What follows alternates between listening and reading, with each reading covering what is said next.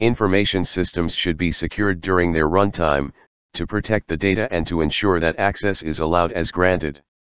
Computers implement security at runtime using several protection mechanisms such as protection rings, security modes, and operational states. Protection rings is an old security mechanism that dates back to the Multics operating system. This mechanism defines several security rings or circles that are concentric to one another, and the deeper one goes from an outer ring to an inner one, the higher the privilege level gets.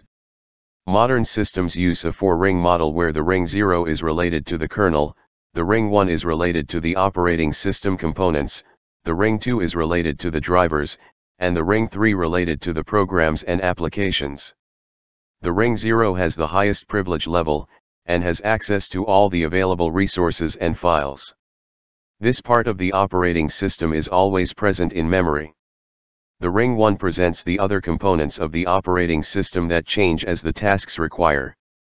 The ring 2 presents the input and output drivers and system utilities, which are capable of accessing peripheral devices, and ring 3 is occupied with the applications and programs.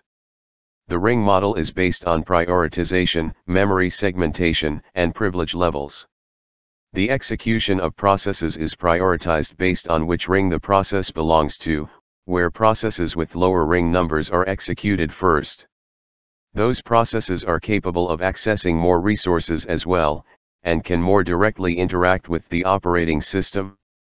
In case processes of higher rings require access to more privileged services, then they should make a request to a driver in a lower ring.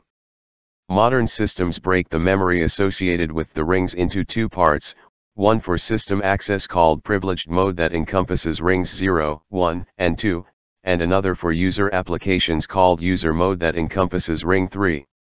This allows the operating system to protect itself from the users and the applications, where direct access to specific resources is only allowed through specific rings. Rings determine what each process is able to access and what resources it can request from other processes in the lower rings.